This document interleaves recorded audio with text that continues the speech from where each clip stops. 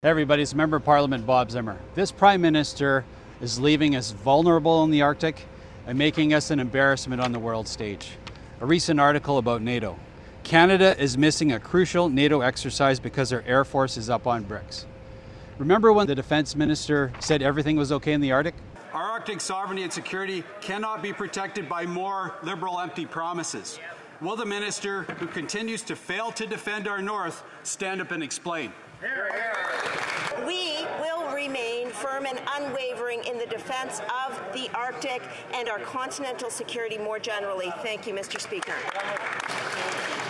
Well, NATO is currently engaged in its largest ever air exercise in Germany, an operation aimed at sending a message to the Russians that the alliance is determined to defend every inch of its members' territory. The exercise will involve 25 nations, 10,000 personnel, 250 aircraft, and even engage non NATO members like Japan and Sweden. In a shocking and embarrassing development, the Department of National F- Defense said that while the Royal Canadian Air Force remains ready to deploy NATO committed assets as required, it was unable to accept Germany's invitation for Canadian aircraft to participate. In other words, the Air Force would appreciate it if Russia to refrain from instigating a fight this time because the fleet is up on bricks. Hardly firm and unwavering in the Arctic, don't you think? Do you think the Prime Minister and Defense Minister are putting our Arctic sovereignty and security at risk to Russia and Beijing?